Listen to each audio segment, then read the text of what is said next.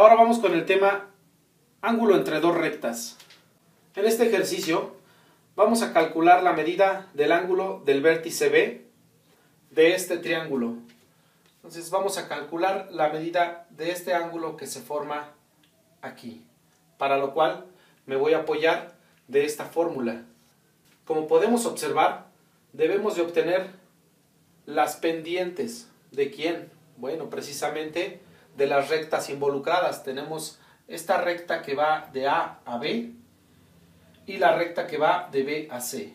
Esas son las rectas y entre estas dos rectas se forma este ángulo. Entonces vamos, vamos a necesitar sacar la pendiente, la pendiente de este segmento que va de A a B, que sería la pendiente del segmento A a B. Y también vamos a necesitar sacar la pendiente del segmento que va de B a C. Esta pendiente de aquí.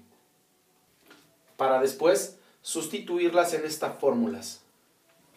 Aquí, en, este, en esta fórmula, se está pidiendo la pendiente M2 y la pendiente M1. ¿Cuál va a ser esas pendientes? Bueno, se trata de lo siguiente. El ángulo que se forma aquí en el vértice B lo vamos a tomar siempre como positivo, es decir, va a ir siempre en contra de las manecillas del reloj. Va a empezar aquí y va a terminar acá. Va a girar así. La recta donde inicia el ángulo, eso va a ser M1. Y la recta donde termina, eso va a ser M2. Entonces, la pendiente del segmento A, B, va a ser la pendiente 1 o M1. Y la pendiente que va del segmento B a C va a ser la pendiente M2. Y las vamos a sustituir en esta fórmula. Entonces vamos a sacar primero esas pendientes. Vamos a obtener primero la pendiente M1, que también va a ser llamada pendiente que va del segmento A al segmento B. Y lo vamos a obtener con esta fórmula, que es para obtener una pendiente cuando se conocen dos puntos de la misma. Tenemos el punto A y el punto B. Entonces aquí tenemos que va a ser x1, y1 y el punto B va a ser x2, y2. Solamente por llevar un orden, pero estos pueden estar intercambiados y de todos modos nos da el mismo resultado. Ahora vamos a sustituir los valores. ¿Qué es y2? y2 es 7 menos el de la fórmula. y1 es 3.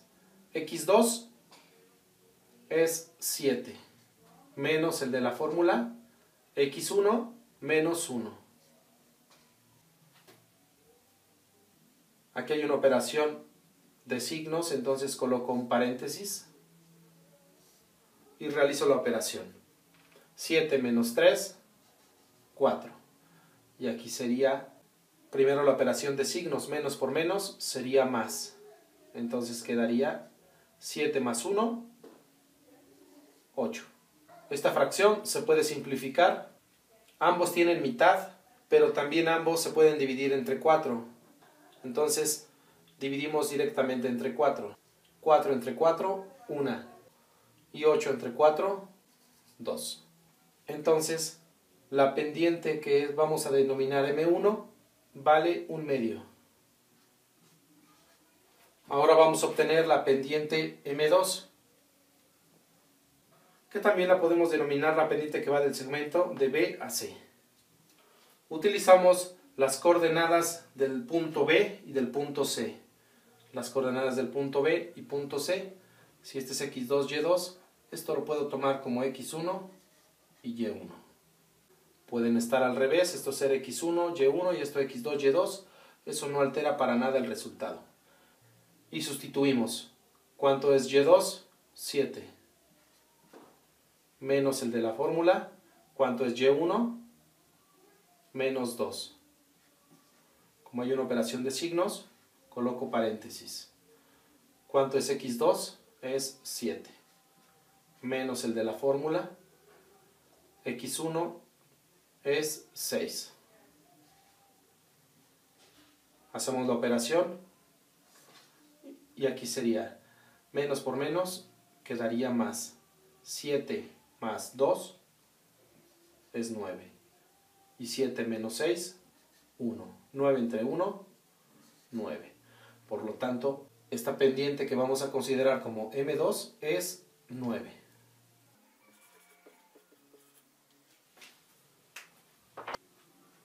Una vez que ya tenemos M1 y M2, lo vamos a sustituir en la fórmula para encontrar el ángulo del vértice B, de este de aquí.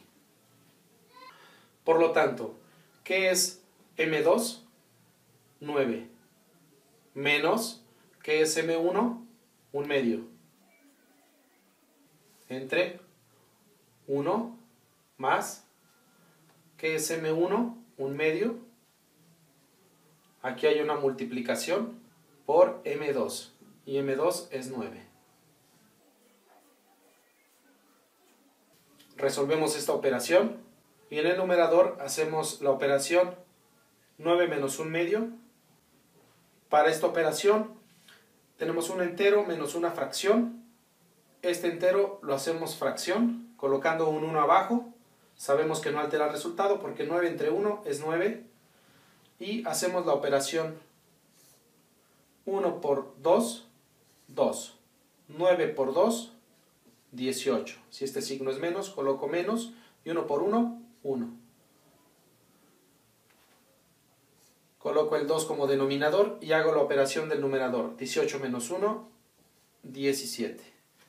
Entonces, este es el resultado de esta operación y va aquí. Ahora hacemos la operación del denominador.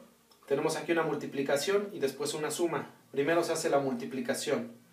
Para la multiplicación de fracciones, aquí tenemos una fracción que multiplica un entero. Entonces, este entero lo hacemos fracción, multiplicando numerador por numerador. 1 por 9, 9. Y 2 por 1, 2. Ahora le sumamos este 1 y lo que hacemos es sumar un entero más una fracción. Convertimos este 1 en fracción y hacemos la operación. 1 por 2, 2. 1 por 2, 2. Este es más, coloco más. 1 por 9, 9. 1 más 9, 11. Y como denominador, el 2 y este es el resultado de la operación del denominador y la coloco aquí. Ahora aquí tenemos una división de una fracción entre una fracción. Vamos a aplicar la ley de la oreja o la ley del sándwich que dice que se multipliquen estos extremos y se coloquen como numerador. 2 por 17, 34. Que se multipliquen estos del medio 2 por 11, 22. Y se coloquen aquí como denominador. Entonces, el resultado... Esta fracción se puede dividir entre 2, tanto numerador como denominador. 34 entre 2, 17. Y 22 entre 2, 11. Entonces, este sería el resultado. Ahora vamos a despejar a B.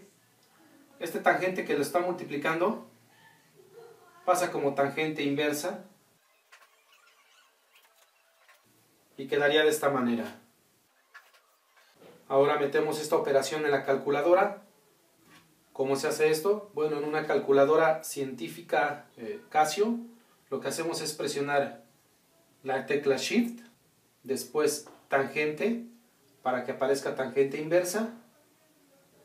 Abrimos paréntesis, colocamos el número 17, el símbolo de fracción que en las calculadoras Casio está como de esta manera. Después el número 11, cerramos paréntesis y finalmente la tecla igual.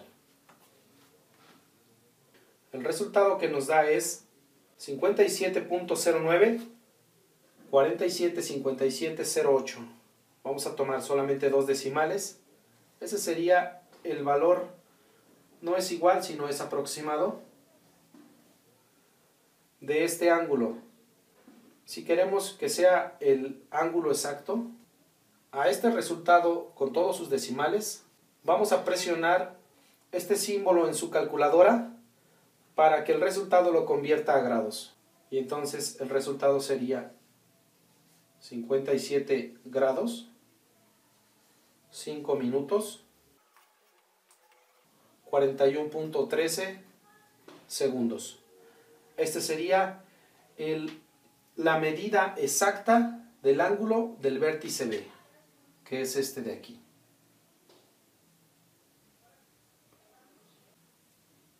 Y bueno, eso es todo. Espero te haya servido el video. Te invito a revisar estos otros ejemplos para aprender más. Nos vemos en el siguiente. Gracias.